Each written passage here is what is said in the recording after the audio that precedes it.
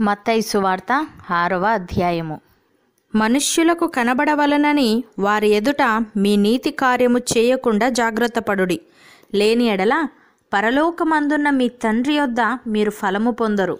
కావున నీవు ధర్మము చేయునప్పుడు మనుష్యుల వలన ఘనత నొందవలనని వేషధారులు సమాజ మందిరములలోనూ వీధులలోనూ చేయులాగున నీ ముందర బూర ఊదింపవద్దు.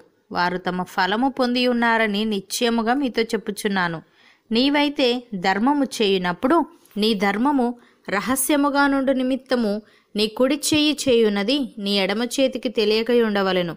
అట్లయితే రహస్యమందు చూచు నీ తండ్రి నీకు ప్రతిఫలమిచ్చును. మరియు మీరు ప్రార్థన చేయునప్పుడు వేషధారుల వలె ఉండవద్దు.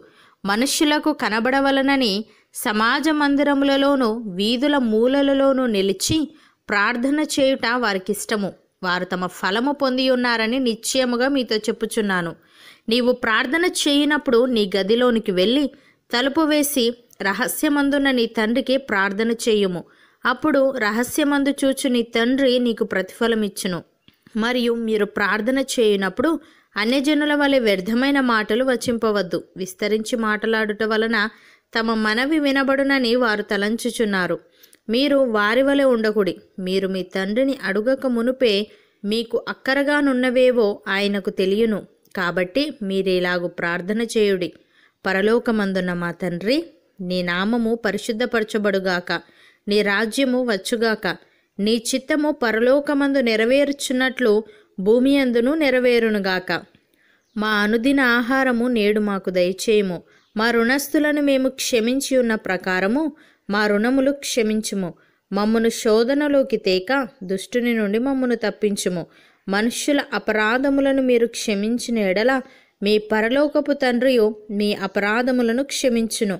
మీరు మనుష్యుల అపరాధములను క్షమింపకపోయిన ఎడల మీ తండ్రియు మీ అపరాధములను క్షమింపడు. మీరు ఉపవాసము చేయునప్పుడు వేషధారుల వలె దుఃఖముఖులై ఉండకుడి. తాము ఉపవాసము చేయుచున్నట్టు మనుష్యులకు కనబడవలనని వారు తమ ముఖములను వికారము చేసుకొందురు. వారు తమ ఫలము పొంది ఉన్నారని నిశ్చయముగా మీతో చెప్పుచున్నాను. ఉపవాసము చేయుచున్నట్టు మనుష్యులకు కనబడవలనని కాక రహస్యమందున నీ తండ్రికే కనబడవలనని నీవు ఉపవాసము చేయునప్పుడు నీ తల అంటుకొని నీ ముఖము కడుగుకొనుము. అప్పుడు రహస్యమందు చూచుచున్న నీ తండ్రి నీకు ప్రతిఫలమిచ్చును. భూమి మీద మీ కొరకు ధనమును కూర్చుకొనవద్దు. ఇక్కడ చిమ్మటయు తుప్పును తినివేయును. దొంగలు కన్నము వేసి దొంగిలెదరు. పరలోకమందు మీ కొరకు ధనమును కూర్చుకొనుడి. అచ్చట చిమ్మటి అయినను తుప్పైనను దాన్ని తినివేయదు. దొంగలు కన్నము వేసి దొంగిలరు. నీ ధనం ఎక్కడ నుండునో అక్కడనే నీ హృదయము ఉండును. దేహమునకు దీపము కన్నే గనుక నీ కన్ను తేటగా ఉండిన ఎడల నీ దేహమంతయు వెలుగుమయమై ఉండును. నీ కన్ను చెడినదైతే నీ దేహమంతయు చీకటిమయమై ఉండును. నీలోనున్న వెలుగు చీకటి అయి ఉండిన ఎడల ఆ చీకటి ఎంతో గొప్పది. ఎవడునో ఇద్దరు యజమానులకు దాసుడుగా నుండనేరడు.